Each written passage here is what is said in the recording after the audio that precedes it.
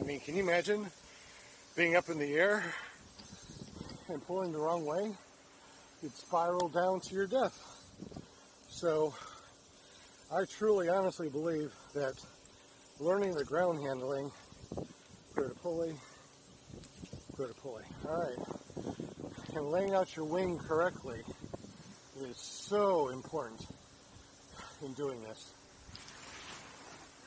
There we go. From my head. There we go. Right backwards. Tight the wing correctly. Just enough brake to keep it going straight. Don't let it go the wrong way. I can feel it lift me a little bit. It's awesome. Keeping it right above me. I got the little bit of rotor now. Turning a little bit sideways. Faster I am. Continuing to go through. One of my best kites so far. My legs are killing me.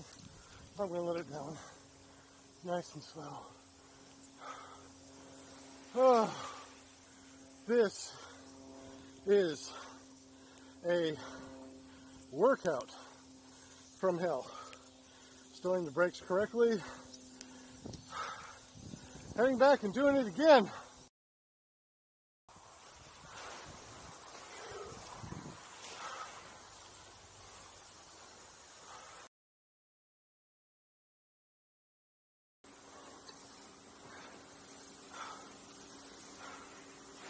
Okay, I'm gonna take a break. Gonna leave this in the shade. Make sure my risers are separate. I'm gonna drink some water and cool off in the car.